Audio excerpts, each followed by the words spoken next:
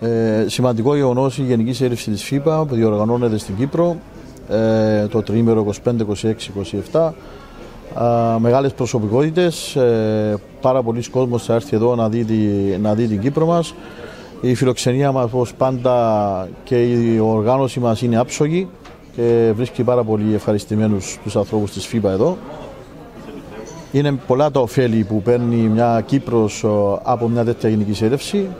Οι γνωρεμίες που αποκτάς, ο κόσμος που έρχεσαι κοντά του ε, και βλέπεις και μεγάλα ονόματα του μπάσκετ, θρύλους του μπάσκετ να βρίσκονται στο νησί μας και πολύ ενδιαφέρον και από τα μέσα μαζικής ενημέρωσης.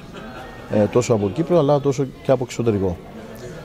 Η, η όλη διοργάνωση ε, είναι πολύ σημαντική τόσο για μας αλλά και το ότι έχουμε φέρει εδώ τη διοργάνωση αποτελεί μια τεράστια επιτυχία της Κυπριακής Ομοσπονδίας Καλαθόσφαιρας. Σημαντικό γεγονός είναι ότι πλέον η ΦΥΠΑ έχει, ανα, έχει αναγνωρίσει τις προσπάθειες της Ομοσπονδίας.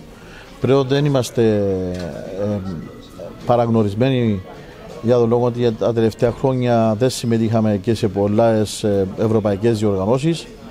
Ε, αυτή τη στιγμή έχουμε πάρει δύο διοργανώσεις ε, με μεγάλη επιτυχία και έπονται ακόμα μεγαλύτερες και πιο σημαντικές διοργανώσεις πολύ σύντομα και η ΦΥΠΑ είναι έτοιμη να μας δώσει ε, πιο ψηλές διοργανώσεις οι οποίες φέρουν και πάρα πολύ κόσμο αλλά και σημαντικά, σημαντικούς ανθρώπους εδώ στην Κύπρο.